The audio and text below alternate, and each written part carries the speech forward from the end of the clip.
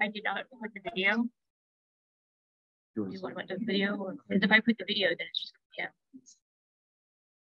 Um, it might be, I mean, but without the video, I don't know. It's just recording it on. Yeah, so let's. I mean, it's- I but what's the point of recording it soon? We'll make a video. Okay, it's gonna be a little weird.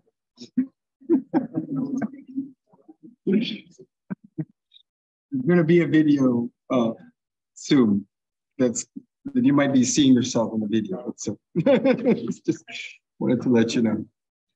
Okay, why don't we get started? Uh, welcome everyone to the Honi Haber Memorial Lecture. Uh, my name is uh, Gabriel Zamosc Regueros. I am an associate professor in the philosophy department. I want to thank you all for uh, coming out today uh, to the Auraria campus and uh, to the Lawrence Building. Uh, the philosophy department at the University of Colorado Denver hosts this lecture every year in memory of Honi Haber, who was a professor at the department uh, who specialized in continental and feminist philosophy. This, like every year's lecture, is made possible by the generous support of Honi's parents, uh, Charles and Millicent uh, Haber, both of whom have since passed away. Their extraordinary gift not only established this lecture series and has kept it running, but also helped fund our department's library, which is a wonderful resource for our students and faculty alike. I want first to take this opportunity to thank uh, the two people who are truly the organizing minds behind these and every event really that our department puts together and who among many other tasks have helped to secure the room, uh, the equipment and the food and beverages for the small reception that will follow the event. Uh, they are our wonderful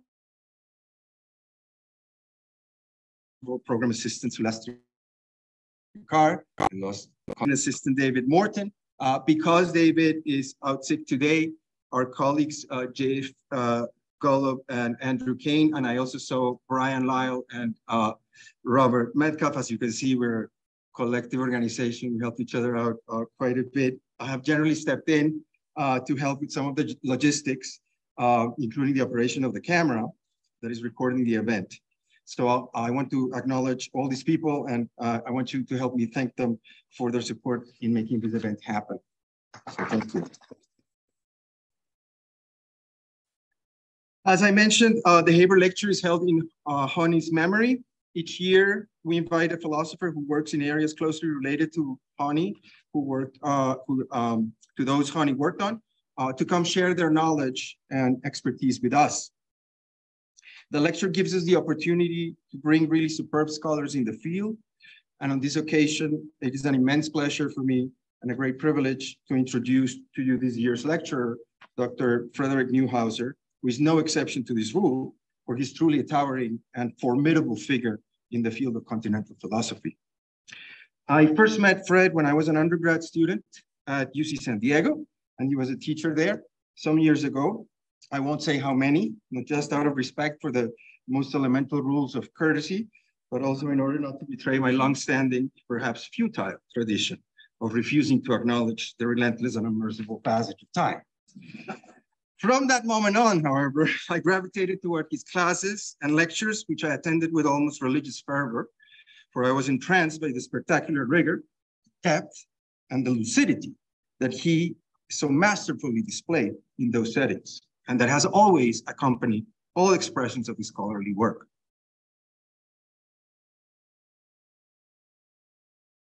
Since then, he has been and continues to be a role model of the genuine philosopher I wish I could one day perhaps become. And hopefully, perhaps sometimes I've, with modest uh, measure of success, uh, become. But if so, on those very brief moments of life, uh, I certainly, uh, I think, are partly owed uh, to him and to his example. Uh, Fred's very fertile scholarly activity covers a range that is truly astonishing and breathtaking and includes, alongside many articles, one book on Fichte, one on Hegel, two books on Rousseau, and his latest monograph, Diagnosing Social Pathology, which, if I'm not mistaken, just came out, and in which readers will be able to find insightful discussions, not just on some of the philosophers I already mentioned, but also on figures as varied as Plato, Marx, and Durkheim.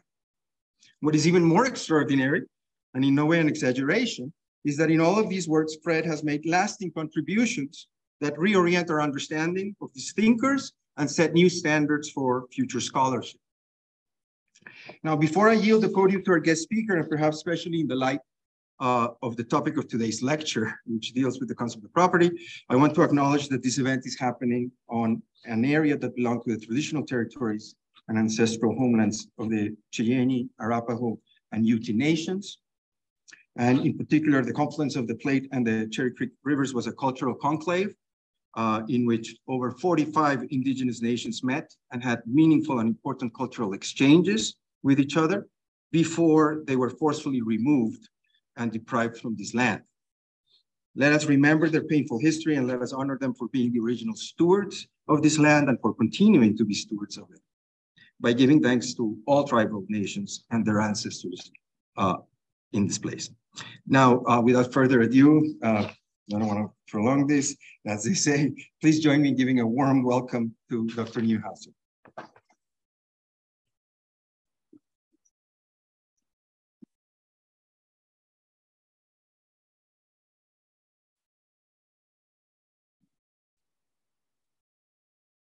Uh, thank you very much, Gabriel, for that really nice introduction. It's very gratifying to see that some of your students make it in the world of academia because, of course, there, you know, there are so many who don't.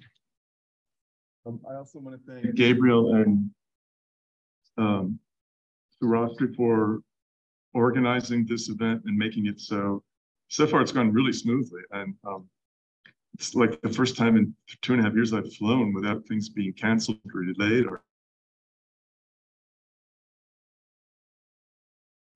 so that was really nice.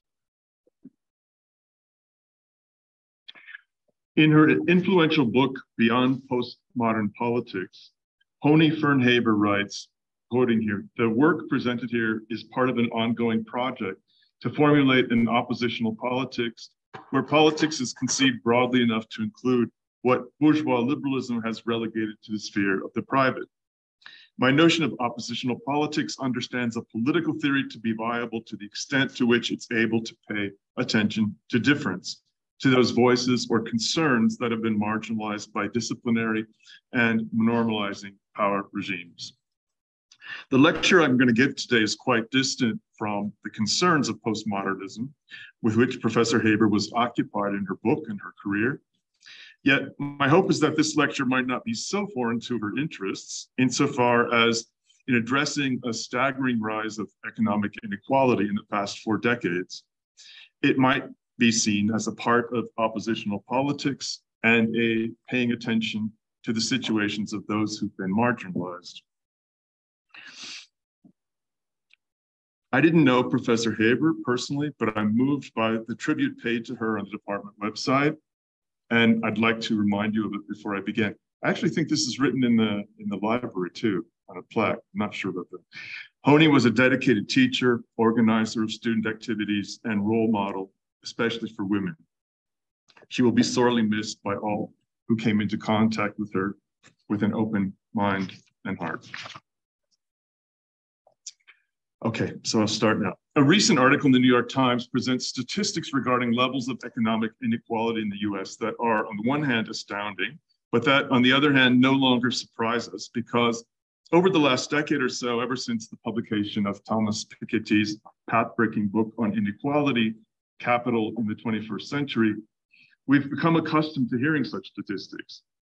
These empirical facts impress us when we first hear them, but we tend to forget them quickly because the numerical relations they convey are too abstract to convey a, a concrete picture of the reality they describe.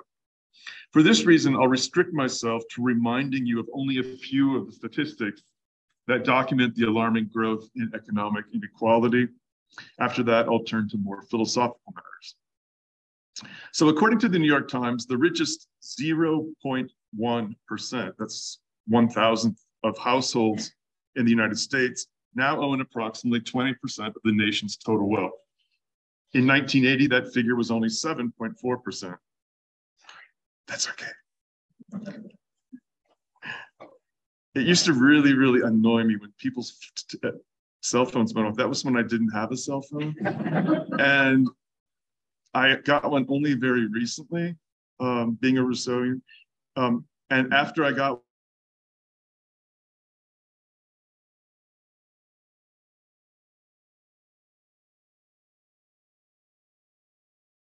when I, I, don't get angry anymore because I understand it happens. It's hard. 0.1% now have a combined net worth equal to the bottom to the combined net worth of the bottom 85%. That means that the richest 300,000 US Americans own approximately as much wealth as the poorest 2.8 million of their compatriots. This extreme economic inequality correlates directly with increased racial inequality. The median wealth of white households is now 10 times higher than that of black households 20 years ago, that ratio was only seven to one. Gender inequalities are less severe than racial ones, but still very high. Extreme inequalities in wealth also track disparities in quality of life, including life expectancy. US Americans in the bottom fourth of the income distribution die about 13 years earlier on average than those in the top fourth. And none of these statistics tracks global inequality, which though more complex than national inequality, is even more alarming. Economic inequality in the US and Great Britain is considerably worse than in Europe, but France and Germany are beginning to exhibit similar trends. In those two countries, the richest 10% own around 60% of national wealth, and half of their population owns nothing at all. That is, no wealth that can be converted into interest or profit, which is to say that all of their earnings come from wages gained through labor rather than as a return on capital. Inequality began to increase throughout Europe in the 1980s. And since then, it's continued to rise steadily, if not as quickly as in the US and the UK. And this trend shows no sign of abating. According to Piketty, inequalities in European societies appear to be headed towards the very high levels that characterized Europe in the Gilded Age before World War I. One of Piketty's best known theses is that the period in which inequality in Europe and the US decreased significantly, so the period between um, the First World War and 1980, was a historical anomaly. In other words, his thesis is that there's a strong tendency inherent in capitalist economies for inequality to increase as long as it's not counteracted by political measures aimed at reducing inequality. As Piketty says, I'm quoting now, when the rate of return on capital exceeds the rate of growth of output and income, as it did in the 19th century and seems quite likely to do again in the 21st, capitalism automatically gener generates arbitrary and unsustainable inequalities that radically undermine the values on which democratic societies are based. Moreover, this is me now. Contrary to what many economists have claimed, there's no, this is Piketty again, there's no natural spontaneous process intrinsic to capitalism that prevents destabilizing inegalitarian forces from prevailing permanently. Piketty's prediction for the 21st century aren't much different from Marx's claims regarding the general law of capitalist accumulation and the dynamics of the Industrial Reserve Army, although his explanations of trends toward inequality rest on different arguments from Piketty's Marxist. I can't assess the merit of either of these arguments here. I can't really assess the merits of them anywhere. I'm not an economist, but Piketty's impressive, impressive empirical studies provide considerable support for his claims regarding at least the fact of rapidly increasing inequality. It's worth asking, as Marx did, if it's really inequality, whether in income or wealth, that we ought to be most concerned with? Marx's answer, I believe, is no. What matters most, he would say, isn't relative wealth, but whether all have access to the resources they need in order to live a productive, affirmable life. And the most important barrier to this in the modern world, he believes, is class, class differences rather than unequal wealth. Accordingly, some Marxists criticize Piketty for focusing too narrowly on inequality and only indirectly on class. Marx is correct, I think, to give priority to differences in class, but this doesn't imply that Marxists should dismiss Piketty's work. After all, class divisions are defined by a species of unequal wealth, ownership or not, of the means of production. And the distinction Piketty emphasizes between those who live only from income from income One important difference between the world Piketty analyzes and one studied by Marx is the rise in the second half of the 20th century of what he calls a large patrimonial middle class that owns significant income generating wealth and therefore lives off of not only wages or salaries, but also returns on capital. For example, many people own their homes, and that's quite a large uh, investment in many cases. This fact blurs somewhat the categorical distinction Marx drew between bourgeoisie and working class, and the large size of this so-called patrimonial middle class, although it too has begun to shrink, counts as one reason Marx did not have for worrying about inequalities of wealth that don't exactly amount to class distinctions in the strict classical sense. Moreover, if inequalities in wealth are worth caring about, then so too are inequalities in income, since especially today, given the super salaries earned by CEOs and managers of large firms, inequalities in income rapidly turn into inequalities in wealth. If inequality, if economic inequality in general and not merely class inequality becomes our concern, then the question arises as to what's wrong or dangerous about high levels of, of inequality. Social philosophers generally agree that not all economic inequality is bad, which raises the question of when and on what basis it's to be criticized. As I noted earlier, Piketty is worried by the effects inequality has on democratic culture and politics.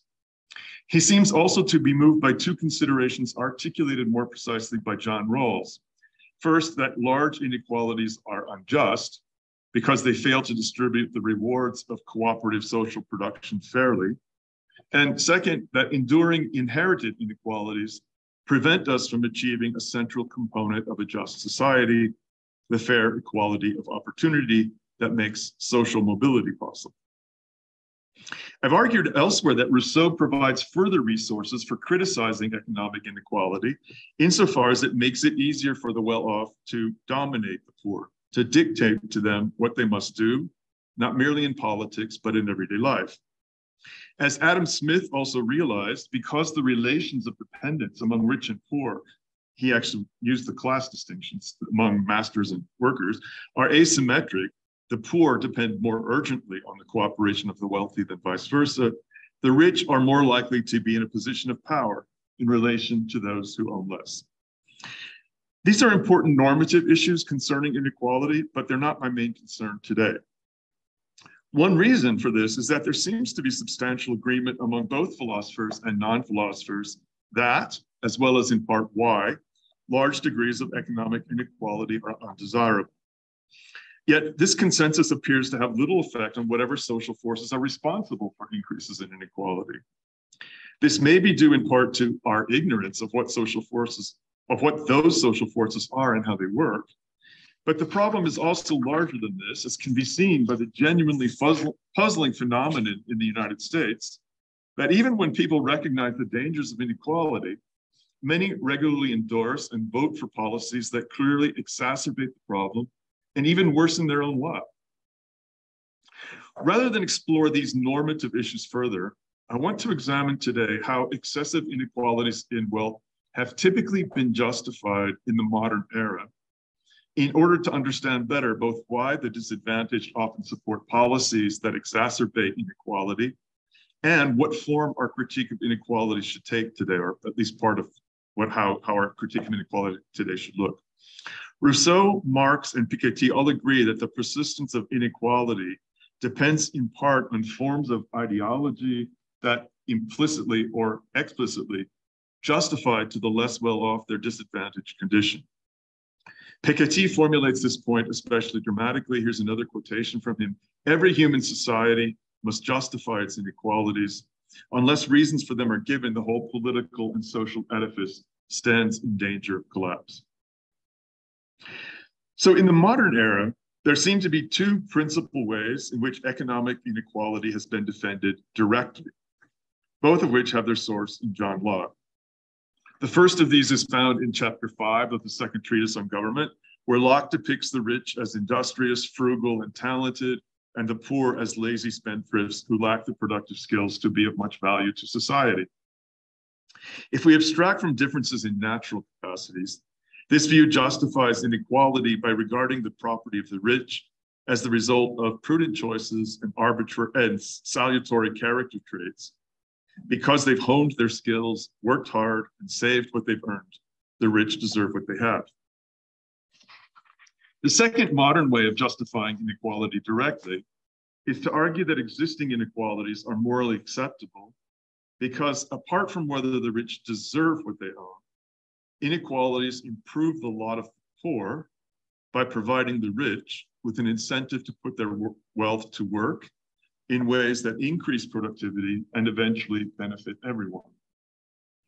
I don't want to reject the principle behind this justification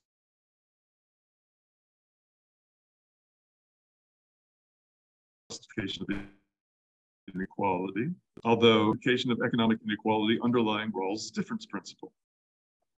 Yet, as he recognizes, to the extent that this justification of inequality is valid, it falls far short of justifying the great extremes of inequality characteristic of Western societies today. To take just one example, no sober observer can seriously entertain the possibility that CEOs who earn yearly salaries of millions of dollars, while the average employee in their firm earns less than 1% of this amount, increase productivity to an extent that justifies their exorbitant pay as beneficial to all. To take an example from my own institution, in 2018, the total compensation of the president of Columbia University was $4.5 million.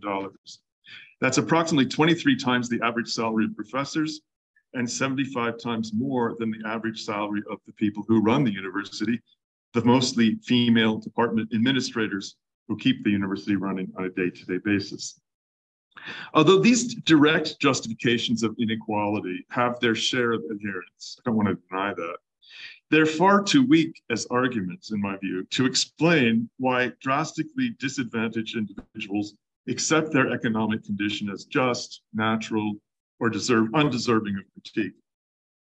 As with any form of ideology, there are plenty of non-cognitive factors that help explain why people believe what they do. But in my role as a philosopher, I'll concentrate on ideas that have the effect of justifying inequality to rich and poor alike. According to Piketty, and this I agree with, and I think it's an important insight, that's actually what the paper, the, the talk is really about.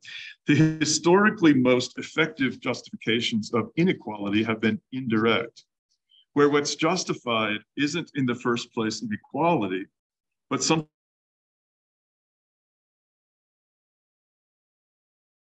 something more fundamental, namely the rights to accumulate unlimited or you know, relatively unlimited quantities of it.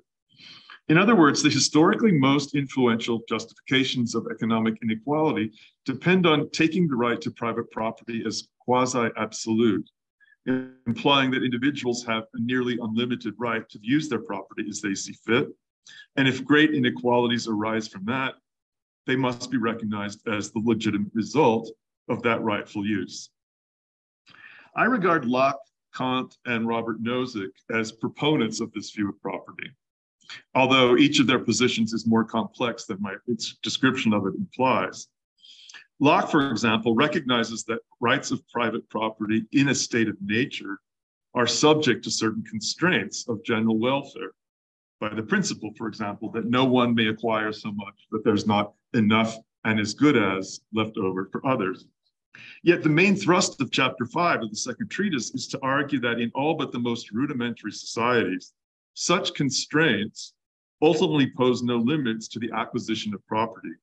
Because, for example, private ownership, especially of land, this is this, this, familiar argument again, gives owners a financial incentive to increase the productivity of what they own, thereby creating more for everyone and ensuring that all will have more than they would have had in the undeveloped state.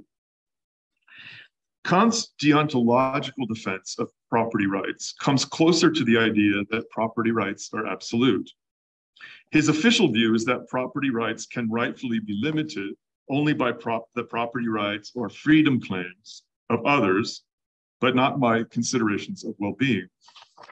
For Kant, the nearly absolute right to use one's property as one sees fit derives from the value of freedom, in this case, external freedom, as he puts it, the freedom to act as one wants without interference from others, and from the incomparably greater value of freedom for Kant, in relation to the empirically conditioned value of well-being. Locke introduces a similarly, a similarly deontological point into his view, insofar as he derives the right to property from an inalienable right to freedom that's given to, human, by, to humans by God. In both cases, the tight connection between property and freedom, along to use one's property as one sees fit, that each of them endorses. Whatever philosophical nuances there might be in Locke's and Kant's positions, they normally get lost when those ideas filter down to non-philosophers, where they operate in the real world as forms of ideology. In this case, justifying private property as a quasi-sacred, inviolable right. This is true even of the French Revolution's Declaration of the Rights of Man, which considers the right to property, quote, an inviolable and sacred right, on par with the rights to liberty, safety, and resistance against oppression. That's putting them at a pretty fundamental level. Marx acknowledges the ideological function of philosophical ideas in capital when, after locating the source of surplus value in the exploitation of labor, he caricatures the normative understanding of ordinary participants in capitalism that makes exploitation appear as legitimate by invoking the ideals of, as he puts it, freedom, equality, property, and Bentham. His thought is that the ideals of freedom and private property legitimize the ongoing exploitation of workers because the purchase of labor power violates the property rights of no one, and the freedom of capitalists to do with their property as they wish may not be abrogated. One of the merits of Piketty's second major book, Capital and Ideology, is that it provides something that philosophers in general can't, namely, an empirical history of how ideologies of private property have in fact functioned in the modern era to justify gross inequalities in wealth. In this real world context, philosophical subtleties play no role. What matters rather is a widespread belief in the sacredness or untouchability of private property that implies a nearly unlimited right of owners to use their property as they wish, as long as others' property rights aren't violated. One could adduce many examples of this attitude towards property, but I'll mention only one. Well, actually, I think I go on to mention more, but I'm going to focus on one here in the United States, a relatively small example, but nevertheless, it's revealing. In many communities in the US, shopping malls are the only approximation to public spaces that exist. Yet these public spaces, as it were, are privately owned. And for that reason, their owners are permitted to place limits on the use of those spaces that wouldn't be allowed in genuinely public spaces. Owners of shopping malls in the US are permitted, for example, to exclude certain undesirable groups from their property the homeless, young people in search of a place to meet and play, and so on, thereby denying them the right of free association in the only public space their communities have. Moreover, owners are permitted to restrict freedom of speech in ways that would be prohibited in genuinely public spaces. Groups who enter these public spaces, as it were, in order to hand out leaflets against climate change or to demonstrate in favor of unionization drives are frequently removed from the premises by the mall's private security forces, which is to say, coercively. Not long ago, a group, just one tiny example, a group known as the Footlocker Eight went to the Mall of New Hampshire to hand out leaflets showing how shoe manufacturers were exploiting workers in developing countries. The members of this group were arrested for trespassing on private property. The mall owners said they wouldn't tolerate activity within the mall that didn't generate business. This example is only indirectly related to economic inequality, but it illustrates the principle that property owners are permitted to use what they own as befits their private ends, and in this case, making a profit, and often in ways that fail to respect democratic freedoms. There are many other examples of property rights being treated as sacred and inviolable that have had much graver consequences than being excluded or silenced by the owners of shopping malls. The most glaring of these involves the insistence in the 19th century on making the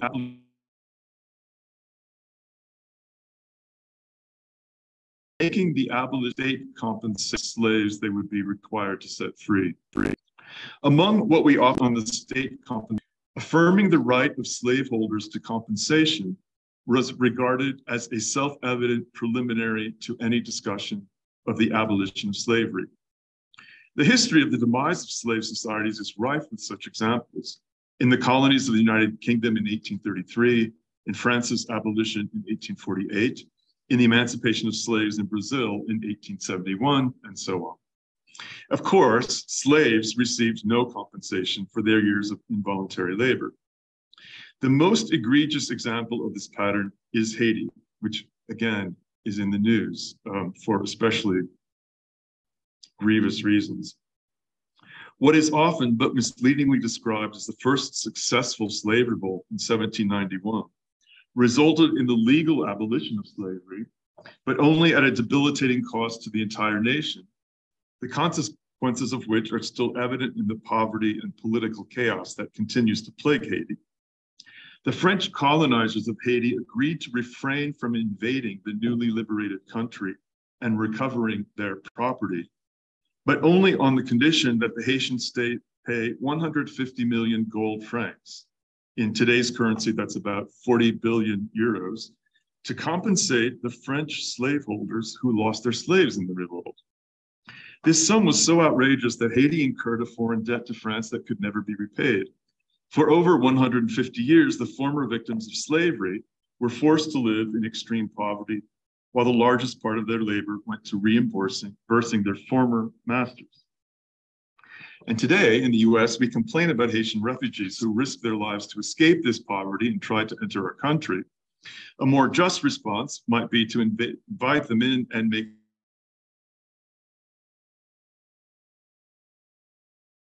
the French pay for their food, housing, which enslavement continued. All of which was a completely logical consequence of the belief in the sacredness of private property. In sum, there can be no question that the alleged untouchability of property rights has been and continues to be one of the main ideological pillars of the deep inequality that plagues the world today.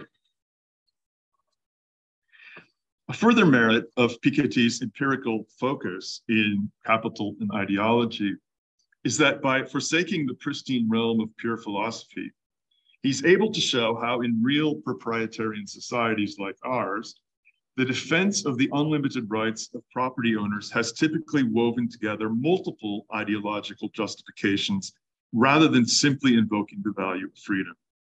This is precisely what Marx suggests when he characterizes the ideological justification of exploitation as bringing together the ideals of freedom, equality, property, and Bentham. Bentham, I take it, refers to the justification of unlimited accumulation I attributed early to Locke and to tri trickle down economics, what Piketty calls the theology of the free market, namely the idea resuscitated in the 1980s under Reagan and Thatcher, once again in the UK by the former Prime Minister, Liz Truss, that some people's being very rich and motivated to produce efficiently makes us all better off than we would be without such inequality. In other words, what in the real world has typically made the unlimited rights of property owners appeal unassailable, even to the poor, is a conglomerate of mutually reinforcing ideological considerations.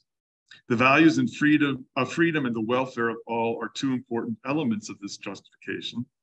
But Piketty also draws our attention to a third argument I haven't yet mentioned that he claims has had the greatest effect of all. Again and again throughout history, even among participants in the French Revolution, efforts to redistribute property or to regulate its accumulation have been stymied by an almost religious faith in the idea that any interference with existing property arrangements would disrupt social stability so severely that the very existence of society would be endangered. Piketty describes the stability argument thus Quote, if one begins to question property rights acquired in the past and the inequality that derives from them in the name of a conception of social justice that might not be agreed upon, doesn't one run the risk of not knowing where this dangerous process will end? Political instability and chaos may then ensue. Redistribution is a Pandora's box that should never be opened. The normative shallowness of this argument is revealed by the fact that the very same reason was often given for why slavery couldn't be abolished. This indicates the enormous power the specter of social instability has had in justifying existing distributions of property, regardless of its origin or what it entitles its owner to do. This power has extended even to the ownership of other persons, something that so blatantly violates the justification of private property in the name of freedom that trying to imagine how slavery could be defended in this manner truly boggles the mind. Some 19th century critics of capitalism responded to the dominant ideology of property ownership by rejecting or appearing to reject the right to own property altogether. Think of Proudhon's uh, pronouncement, property is theft. Proudhon later denied that he meant to reject all forms of property. He regarded the right to own products of one's own labor as defensible. But in doing so, he failed to make clear why private property might be not just admissible, but within limits important to a free society. Something similar is true for Marx, although he restricts Proudhon's claim that property is theft in its literal meaning to the original accumulation of capitalist property. He often seems to advocate eliminating private property altogether when surely what he means to advocate is only the elimination of private property in the means of production. But like Proudhon, Marx isn't clear as to whether ownership of all personal property is to be rejected, and if not, what importance such property might have in a post-capitalist world. Does he really think, as he sometimes seems to suggest, that once capitalism is abolished, all property should be social collective property? Alongside the defenders of a nearly absolute right of private property on the one hand, and radical critics of private property on the other, there's a third group of philosophers whose view offer a more satisfying way to think about both the importance of private property and its limits. I include in this group Rousseau, Hegel, and there are certainly others who, Piketty, and there are certainly others who belong to it. Rawls would be one, I believe. An important, an important first step these thinkers take is to denaturalize our, our, our idea of private property and the rights it entails. This is the import of Rousseau's rejection of, of Locke's appeal to natural law in defending inegalitarian property arrangements. A similar step taken by Hegel is to de-rationalize or to de-ontologize, sorry, de, I meant to say de, de-ontologize private property. That is, to deny that the rules of property ownership can be, deduced, can be deduced for once and for all through pure reason alone. Derationalizing private property in this sense doesn't imply, imply denying its rationality altogether. Historicizing our conception of reason, as Hegel does, is a more attractive alternative. In short, if property rights are created by us rather than legislated by God, nature, or pure reason, then space opens up for us to think about what human purposes such rights serve, what consequences they're likely to have, and whether those rights, when unrestricted, conflict with other social values we're committed to. Another commonality of Rousseau's, Hegel's, and Piketty's positions is an explicit intention to defend private property as an important institution that realizes a kind of freedom for individuals, while at the same time affirming that however important property rights might be, they don't give owners an absolute right to use their property as they wish. There are two general strategies for limiting property rights in this way. One is a broadly consequentialist strategy that limits property rights and thereby inequality in the name of the right of all citizens to achieve certain levels of well-being or welfare. The other strategy espoused by Rousseau and Hegel imposes limits on the right to use one's property whenever inequality violates the freedom of some. In these cases, violations of freedom are understood as violations of a different type of freedom. That is, when we're talking about property uh, bringing about certain violations of freedom, the freedom we're talking about there is understood by these thinkers as a different type of freedom from the one that private property is thought to realize. Both strategies go beyond the positions of Kant, Locke, and Nozick, who focus on the free character of individual exchanges of property and regard whatever conditions result from iterations of free exchange as a legitimate outcome. Rousseau, Hegel, Marx, and Piketty adopt a different and I think better approach that takes into account the probable systematic consequences of completely free exchange. When those consequences conflict with the fundamental interests of some participants in the network of exchange, these thinkers, appealing to those consequences,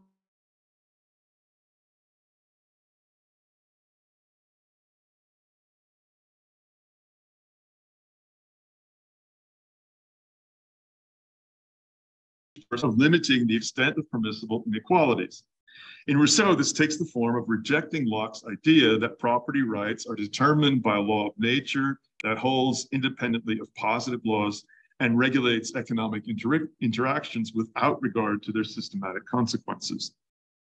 The rejection of this idea is what underlies Rousseau's claim that, regardless of which laws might hold in a hypothetical state of nature, property rights in a legitimate republic must be limited not by a law of nature, but by the general will, which is to say that the systematic consequences of such rights must be compatible with the fundamental interests of every citizen.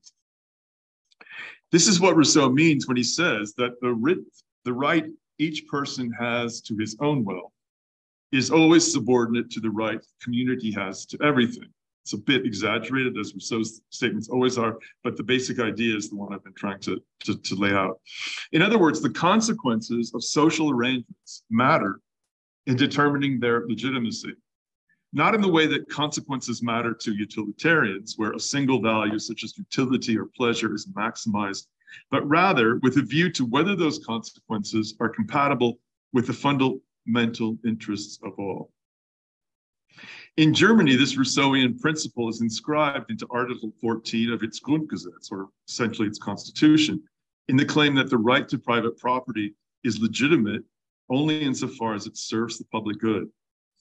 This, I take it, is a rather radical thing to say about private property. Not that it's necessarily res respected all that much in present day Germany, but at least it's there in the Constitution. Hegel takes a similar approach to defining property rights, although this might initially appear not to be the case. For his philosophy of right begins its account of the rational society by setting out in abstract right the set of property rights that are implied merely by the ideal of personal freedom. Personal freedom, for our purposes, is just um, what Kant was thinking of as external freedom, without regard to the social consequences such rights, property rights might have. This can seem similar to Locke's or Kant's approach, but in fact, it's closer to Rousseau's. This is because Hegel regards abstract right as merely a provisional account of property rights that gets revised in view of what we learn in later sections of the philosophy of right about other features of a rational society, such as the institutions of the family, civil society, and the constitutional state. The nature of the family, for example, implies that fathers who earn a living in civil society may not dispose of their property arbitrarily, but must use it to address the needs of their spouses and children. It also places limits on what fathers can do with their wealth in their wills. They cannot leave them to people outside the family or only very small amounts. And the fact that in civil society, an unregulated market necessarily produces extremes of poverty and wealth means, for Hegel, that the state must place certain limits on the unrestricted rights of property owners that appeared to be justified back in the earlier sections of abstract right. Moreover, Hegel makes it clearer than Rousseau that what places restriction on property rights isn't only considerations of well-being, but also the requirements of freedom, albeit a different conception of freedom from that which grounds property rights, a type of freedom that I call social freedom. In other words, Hegel criticizes the inequality that civil society tends to produce, not primarily because it makes some of its members poor, but because their poverty prevents them from realizing certain kinds of freedom that participation in modern civil society generally makes available to its members. One advantage of Hegel's position is that it acknowledges the importance of there being some social space within which persons are free to exercise their arbitrary will to do what they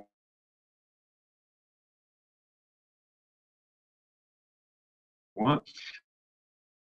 But it limits that sphere when doing so is necessary to avoid one still relevant implication of Hegel's approach is that a critique of unrestricted property rights, and hence a critique of inequality, must go together with a critique of the highly individualistic conceptions of freedom to which Locke, Kant, and other theologians of private property appeal, and that have come to dominate political discourse, not only in the more libertarian societies of the US and UK, but also in part in European states that have been traditionally less hostile to socialism. Here, then, you might say, is the main claim of my talk. Criticizing inequality effectively depends on expanding the conception of freedom now dominant in American political discourse, and on expanding that conception in the manner of Rousseau and Hegel, so as to be less individualistic, so as to include, in other words, conceptions of freedom in which the relevant agent isn't an individual, but a we that acts together thereby achieving ends embedded in collective projects that individuals can't achieve on their own. Notice too that once we begin talking about we's and collective projects, new possibilities open up for thinking of property and the specific freedom it entails that diverge from private property in the classical sense, namely property that's owned by individuals. Hegel expressly endorses forms of collectively owned property when considering the economic resources of both the family and the corporations that arise in civil society, there's every reason for social theorists today to extend this idea to other forms of collectively owned property not explicitly considered by Hegel. Other forms of individualism must be combated too. For example, by emphasizing that regardless of what other rewards the free market might assign to individual participants, all wealth is the product of an intricate cooperative enterprise in social product any one person deserves on that basis. Piketty expresses this obvious but often unrecognized point as follows, again a quotation, the accumulation of wealth is always the fruit of a social process which depends on public infrastructure, the social division of labor, and the knowledge accumulated by humankind over the centuries. The implication of this thought, fundamental to Rawls's theory of justice, by the way, is anticipated by Rousseau more radically in his claim that property owners should be regarded not as private individuals with fully exclusionary rights to what they own, but rather as trustees of public goods who are subject to the requirements of justice as articulated in the idea of the general will. I've been arguing here that although historically economic inequality has most often defended only in, been defended only indirectly as a possibly unfortunate but legitimate outcome of the exercise of the kind of freedom that's realized in property rights, we shouldn't take this to imply a wholesale rejection of property rights, but rather a commitment to qualify them, to deny their absolute status in the name of other values, including other less individualistic conceptions of freedom. This general claim doesn't yet translate into concrete policy plans, and I'm not going to be of much help in doing this today either. Although the broad recommendations offered by Piketty, even if incomplete, can at least orient our thinking about how to limit property rights in the name of reducing inequality. So in the time that remains, I'd like to point to just some of his ideas for limiting property rights that are consistent with the argument I've outlined here. In concluding his first book on inequality, Piketty notes the need for developing new forms of property and the democratic control of capital. These might sound like two aims, but in fact,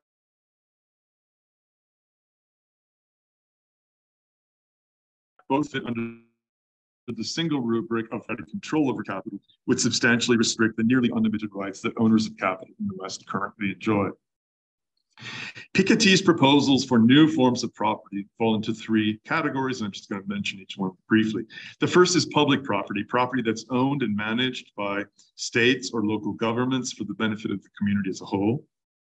This, of course, isn't a new form of property. To some extent, Piketty is advocating a return to and expansion of the kinds of mixed economies developed in Germany, the UK, and other European countries during the second half of the 20th century, when approximately 25% of all wealth was publicly owned. not merely infrastructure and hospitals and postal services, but also banks, coal mines, and automobile factories.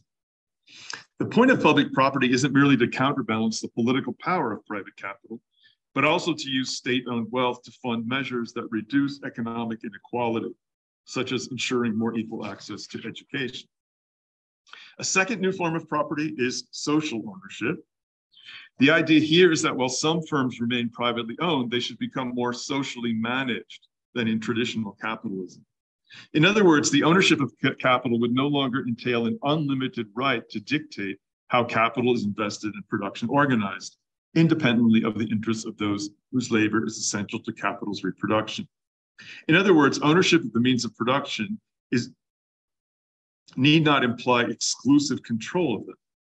Worker-owned cooperatives and the German practice of worker Mitbestimmung co-determination are examples of social ownership, both of which emphasize the importance of democratic decision-making, not only in the political sphere, but also at the site of production.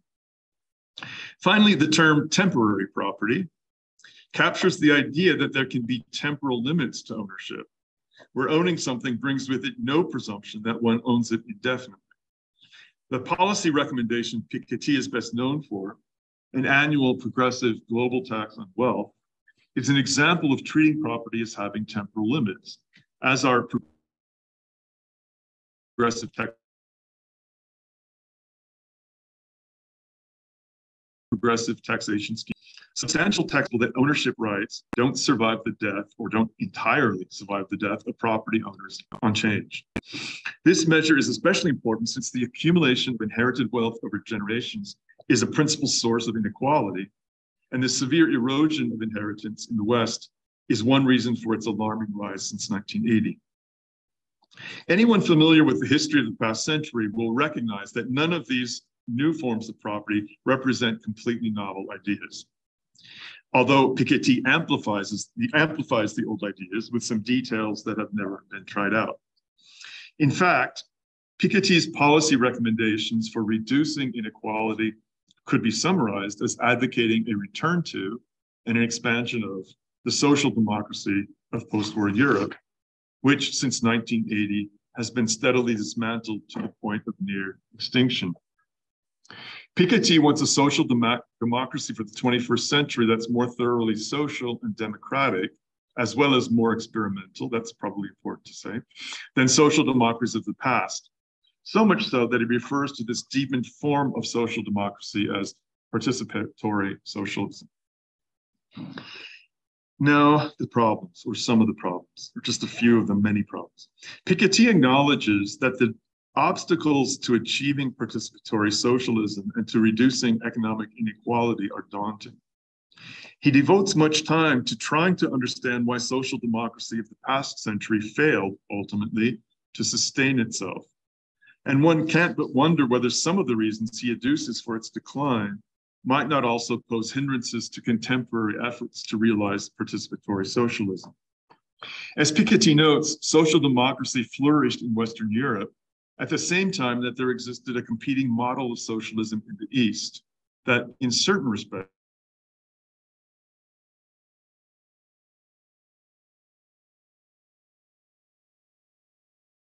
did a better job of guaranteeing a basic standard of living to all unrestrained capitalism is capable of.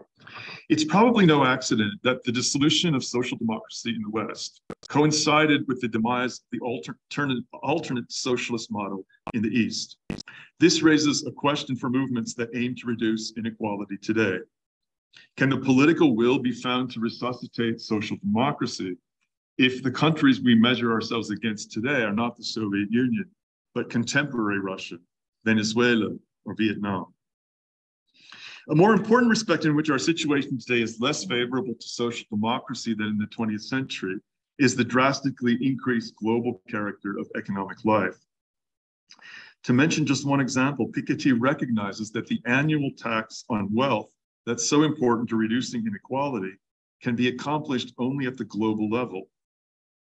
The serious obstacle to this posed by the fact that political decisions are still largely taken at the national state level is obvious. And the past record of supranational organizations like the European Union, as currently constituted give us little reason for optimism. Although one should also note small advances, such as the recent still non-binding agreement to tax corporations at a minimal rate of 15% worldwide. The decidedly un-Marxist idea that it's possible to build socialism in one country seems even less plausible today than when Stalin and Trotsky placed that question at the center of Marxist debate.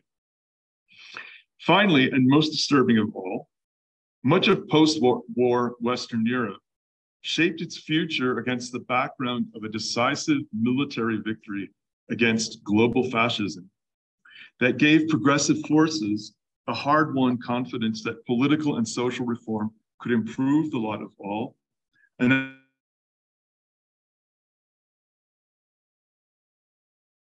that the deep inequalities that characterized Europe prior to World War I. Now, for whatever reasons, the ideological situation in which we find ourselves is nearly the opposite. As neoliberal regimes produce increasingly dysfunctional societies, their members are quickly losing faith in the values that social democracy requires. And to the rest of the world, the social systems of the West appear increasingly to be a historical dead end. It's hard to avoid the discouraging impression that China represents our future, which, despite being authoritarian and undemocratic, might still look better than the xenophobic fascism towards which the West seems to be headed. Something like Piketty's participatory socialism may be what we need, but at least at the moment, the momentum of history doesn't seem to be on its side. It gives me no pleasure to end this lecture on such a pessimistic note, and I haven't even mentioned climate change. But I fear that any other attitude would be disingenuous. The slogan, socialism or barbarism, has never been truer than it is today. Unfortunately, there's no guarantee that barbarism will not be our fate. As a student of Rousseau, I take seriously the possibility envisaged by his discourse on inequality that our corrupted society has developed to the point where, although we can imagine what a better society would look like, and even one that's in principle possible for human beings, there's no way to get there from where we presently are. Unlike Marxists of the past, we can no longer seek relief in the comforting reassurance that the forces of history are on the side of freedom and social justice. If there's any modicum of hope to be found, and I'm not sure there is,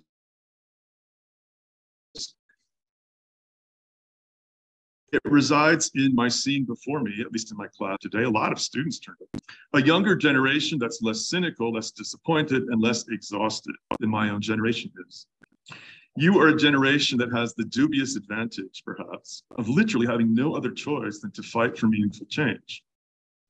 And many of you appear to be increasingly aware of our grave predicament.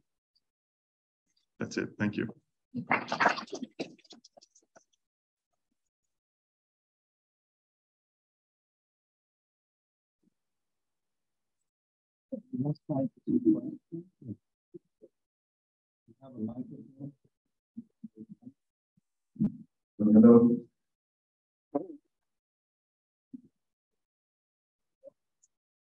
So one thing that someone told me that, that really affected the way that I was thinking about some of these issues was that if you had a million seconds, it was 11 days. But if you had a billion would be 31 years.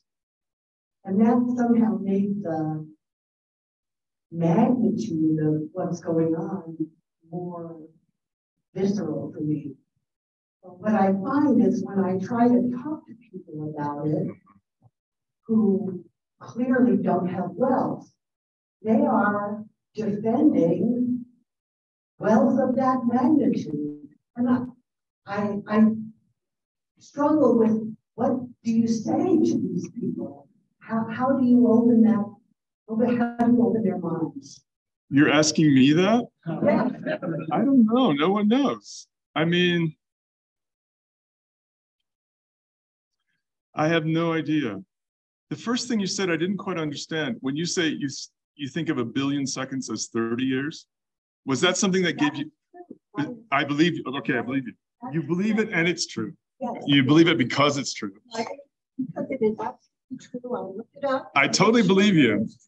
I- But what it did was it made the magnitude of what these oligarchs are controlling clearer to me somehow. Uh, I thought, I thought you were saying that, thought that there's thirty years left No, means no, that we can feel comfort and, No, okay, because I'm not sure there are thirty years left. no, It's looking at the difference between a million. Oh, I see. Oh, got you now. Okay, days, all right, yeah. And a billion is thirty-one years. Right, got you. Because I was saying like these statistics, you don't really know because these, these differences in numbers don't mean a thing. Mean That's a way of making them mean a thing. way Gotcha.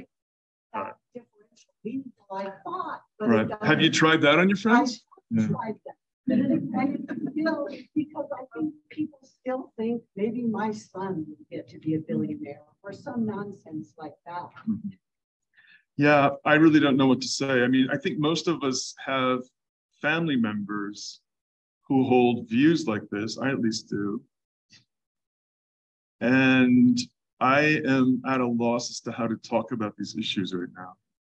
Maybe other people in the audience have ideas.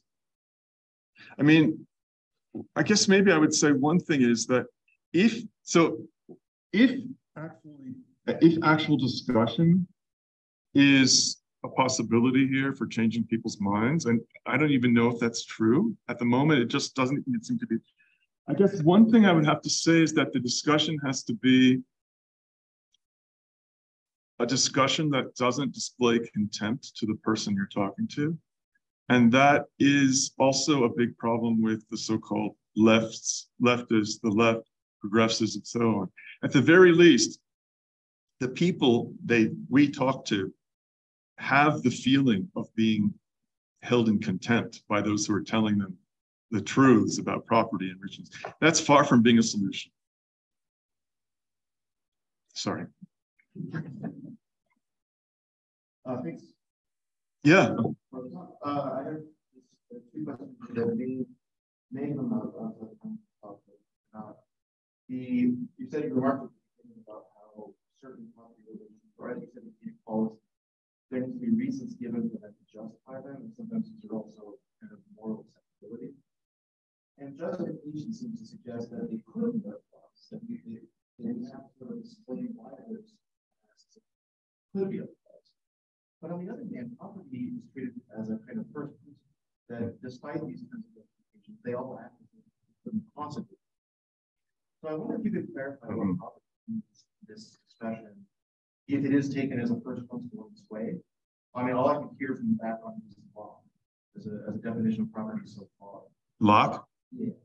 That's the second question, I don't know if it's too much. Uh, why would consider the comparison? too much? Just have to- I said, no, I said I'd much prefer China than xenophobic fascism. But that's kind of a, that's, yeah, that's kind of a depressing thing too. China's an authoritarian society. It is. It- it- but the first question, um, I'm not quite sure what you, I'm not quite sure what you were asking. I thought you were asking what to do about the fact that um, that unlimited rights of private property are regarded as something almost like a first principle, almost something natural that are not in need of justification. Let's say not natural, but, but self-evident. Yeah. Um, and so what's the question about that exactly? I don't see how that, I don't see how that property, how that question is connected with the question I thought you were asking. That's why I'm having trouble. What is property? Uh, there are lots of definitions, and if you were a property lawyer, you could talk up here for you know a semester on what property is. I'm just starting off with a, with a very basic classical understanding that property is, in the first place,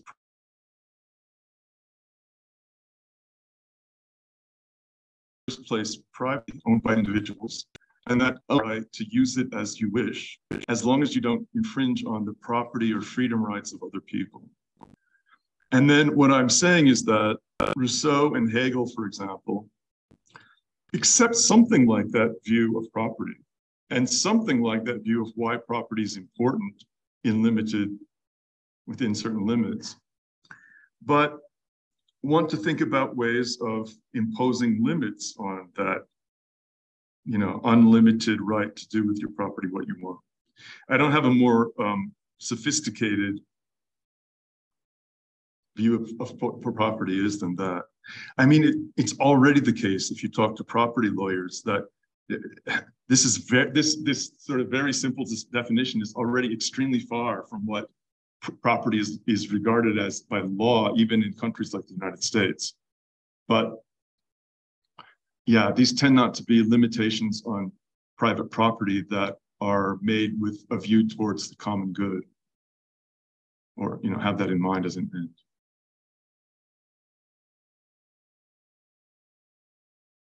Uh, first of all, I'd say that and I don't want to all commentators on getting the still society. But we which is the main thing we focus on. That's interesting. Okay. I was, I was, yeah, I'm teaching a course right now on European social philosophy. We read Marx, Weber, and Smith. And the other person we read who I think is really important is Hegel on civil society. Sorry, that's yeah. that's interrupting your question. Oh. when we look at this idea of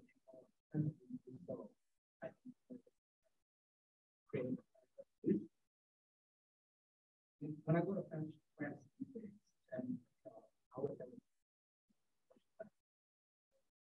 French Revolution they overthrew the church, right? So it was really a rich break. And feudalism. Yeah.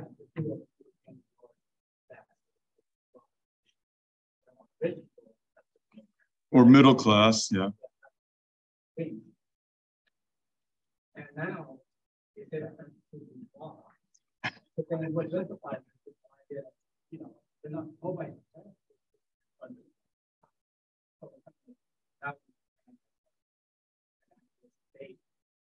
It's not like a major movement, it would be like yellow jacket or uh, Baron. So it's like really small of Although actually right now there's a general strike going on in France. So these things are so fluid that I don't think you can trust anyone who's saying this is where things are and what the possibilities are, impossibilities are. It's extremely fluid. Go ahead.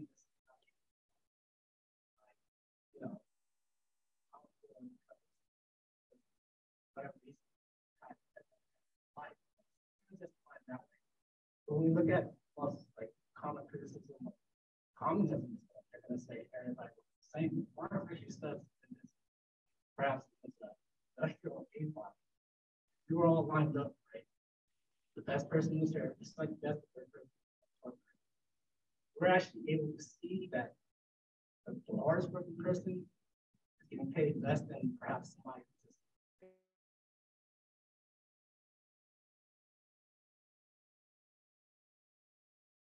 there, you know, he has, as far as even inequality, that's what we're arguing about, is that we know that he should be paid more. Because it, right?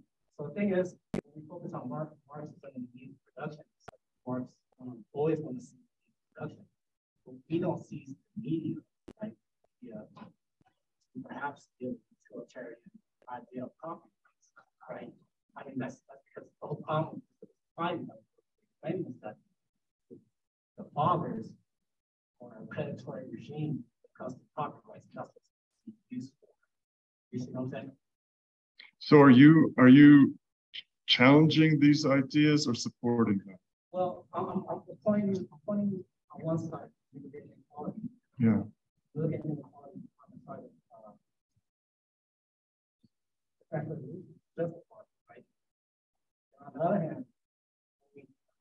justified, right? saying that people who hold the media, you know, Marxism doesn't say that we should see the media rather than we should see all the I'm just pointing out that the reason why is because we have not used the idea of or this is like neo-Marxism being like I feel like media, and we understand predatory So I'm a little bit uncomfortable with saying the French Revolution wasn't a real revolution. No, but it certainly had its limits. And I think it would also be wrong to say that it didn't bring, it didn't decrease inequality in certain really important ways. It may have opened a world to a different form of inequality. Ah, sort of under the under the under the ideas of bourgeois property ownership, the sacrosanctness of property ownership. Even like that, I would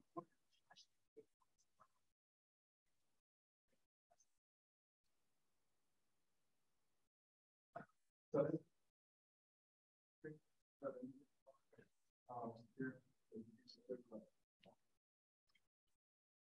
Thank you, sir. Uh, I just want to make sure I'm being clear since I have kind of a loaded statement, but I'm precise about it. And I also don't want to dilute what you wish to say or what I wish to say. So allow me to center my words. Proud uh, um,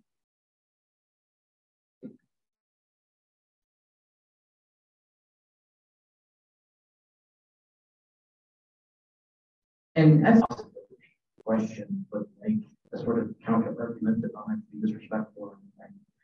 But are you worried that perhaps a socialist understanding of issue inequality might actually result in inequality not being able to be solved? Because you have one specific enemy.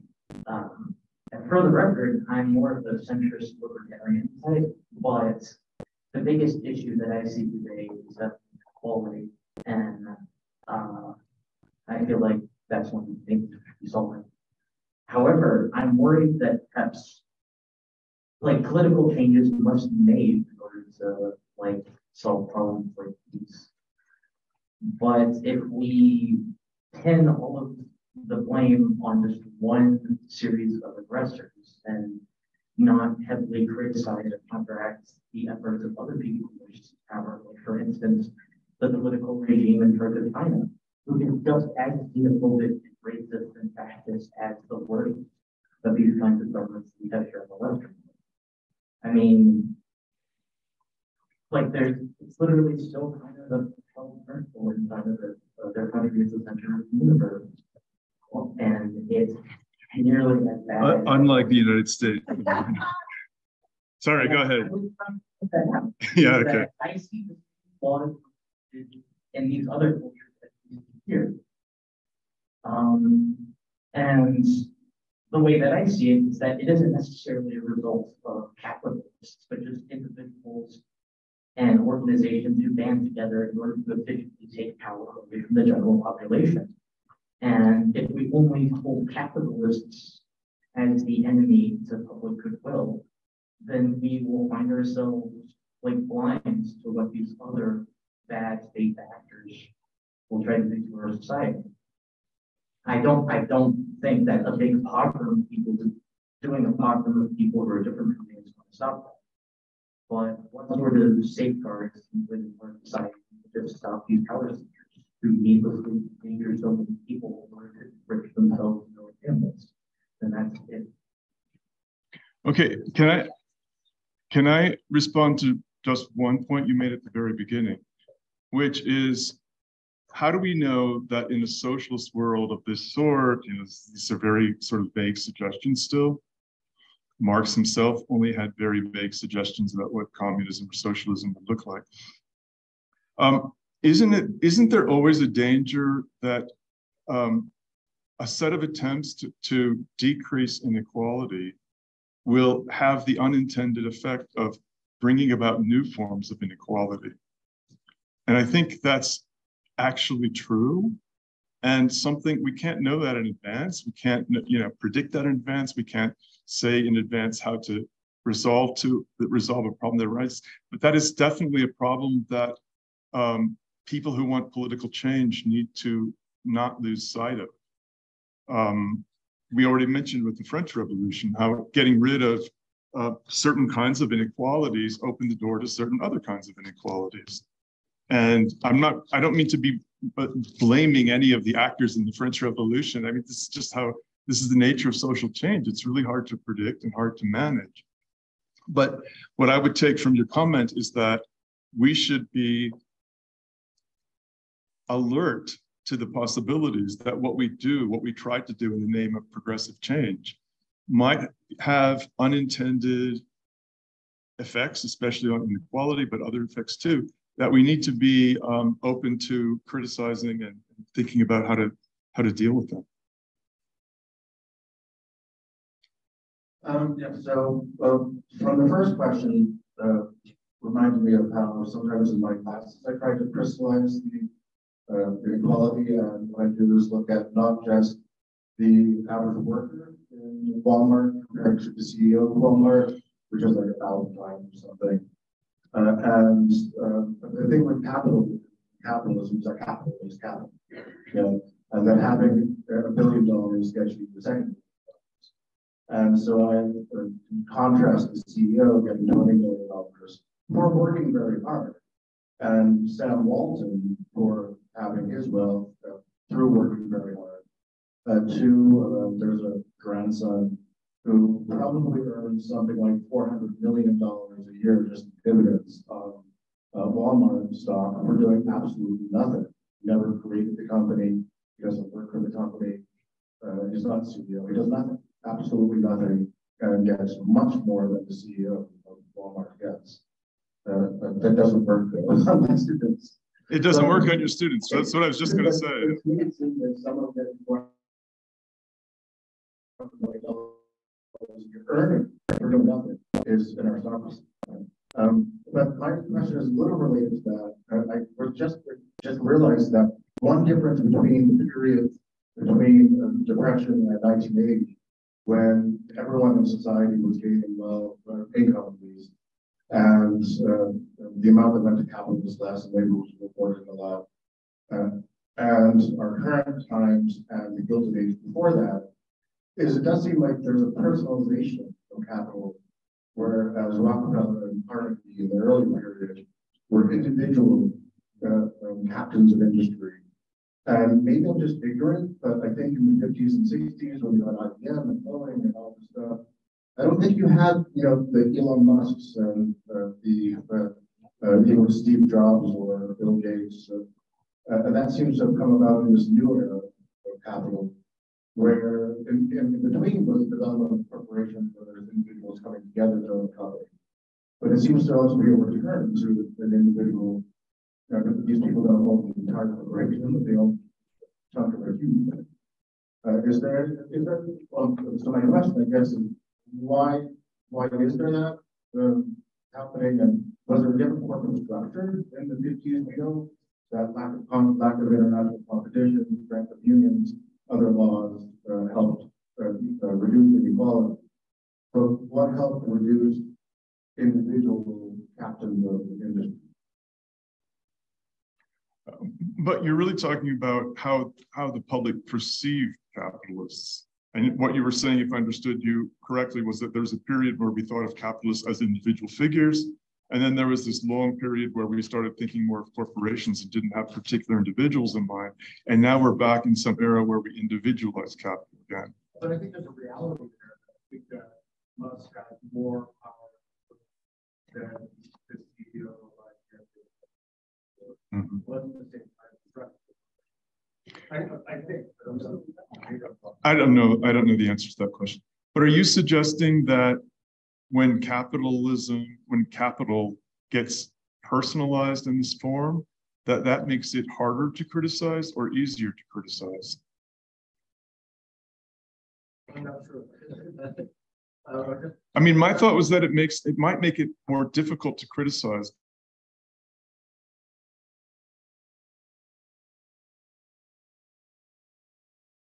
Because the myths of like super geniuses they talk about like like he's a god.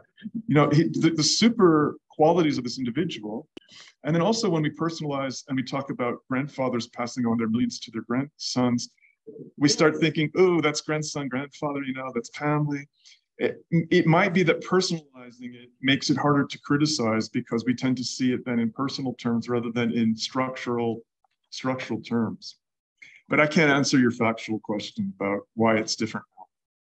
But I understand. I understand what. The income tax in 1950 was 91 percent. Highest rate. Yeah. Uh, yeah, but I don't know if that's if that's what's the cause of his. Maybe I, I don't know if that's the cause of the phenomenon he's talking about. Are you thinking it is? There was billionaires. Uh huh. Oh, I see what you're saying. Yeah. So the, the claim here is that during those years you're referring to, incomes were just taxed so much more progressively, as it were, that it was harder for these super individuals to arise, rise up like that. That's the idea. By the way, this is the one, one of the great things about Piketty's book for me, or reading Piketty's books, is he points out certain facts about our own history that our own recent history that were just utterly surprising to me, like in the 50s, Eisenhower era Republicanism, highest tax rate was 90%, and no one thought that was. And you know, we look at that today and we think there's no way we can like raise the tax. I think now it's something like 40%, the highest tax rate. Not on, not on. Not on capital gains, that's on income. Yeah. I think it's higher than 35, but anyway, it doesn't matter It's low compared to 90%. Um, and we've got this idea that that's just sort of a natural limit you can't go beyond. No, we're never ever going to be able to get that accepted. And um, reading Piketty made me realize that these things that I take as kind of ironclad limits are, are not at all. That these these things are also in flux. I also think that, you know, I'm not a historian, but I also think that the experience of the two world wars made something like that more palatable, more possible than um, today. Something about, um, God, reminds me of Hegel's view about the positive natures of, of war. That it, it, it, you, you, you get in touch with what really matters, and it, the the unending accumulation of wealth isn't doesn't seem like the most important thing. That's all I mean to be saying. Which maybe which means that maybe we should be, you know, there's a there's a silver lining in the thought that World War III is on the on the horizon.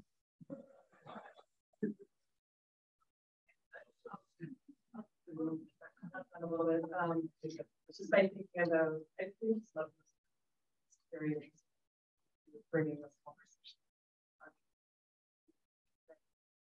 Of which department? Philosophy. Yeah, so thank you. Um, and I think something I want to push back on or think about is a little bit is the collection. Um, good. We do look, and I, the reason I think about it is the function of private property within settlers. Within what? Settlers will and then the Yeah. that the EU in the United States is being established actually through blocking improving the land and development that are necessary right now to genocide the abrogation of people, right? And their claims not to but to there's just a whole bunch of that that is part of their ancestors, their mother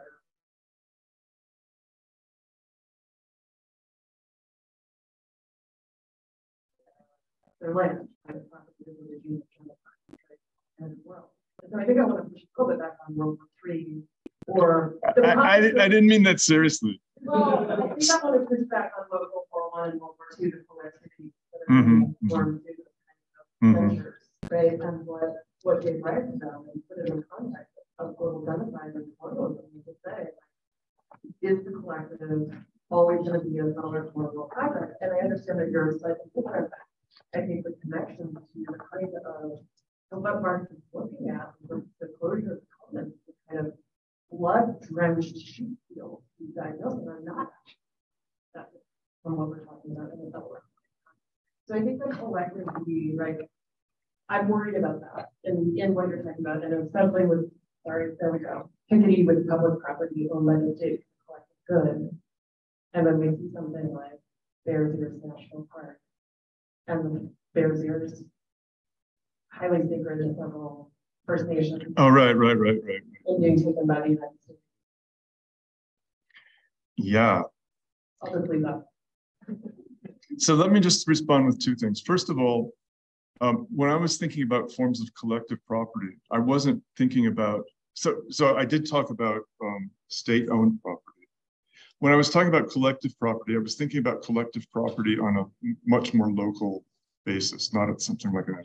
Now, even there, there's always a danger with a collective and a we that those we's or collectives are going to be um, antagonistic to those who are not outside. And so that's another danger that has to be, um, one has to be alert to. But I wouldn't, I wouldn't want to just from, from the example of the national park, I wouldn't want to just say that that means we shouldn't place any hope in nationalized property. I think it's it's done good things, and we should use it when we can. The Postal Service. No, I'm serious. Us. Who are you thinking gets excluded by the Postal Service? Okay. But the answer to that is not to say no more, no more nationalized property. Yeah. I'm not look, that's what that's what in some ways that's what the point of the of the the critique of that, that, that it's not really a critique, but the observation that the nation state stands in the way of some of these measures that would have to be taken. It's for different reasons than you're thinking of, but it's still the idea that being organized primarily in nation states is a huge obstacle still to even these more moderate um, attempts to limit limit private property. So I just noticed that it's five. Uh, I know there are more questions, but uh, out of respect for other people's times, I'm going to end the lecture right now. And I invite you to follow the Fred will while I'm talking to us in a more informal setting. Thanks. So please uh, help me. Uh, thank you for your work.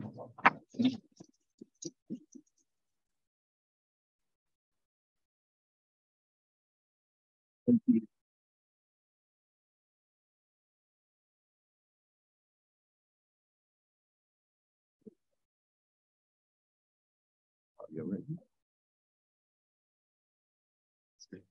I want to say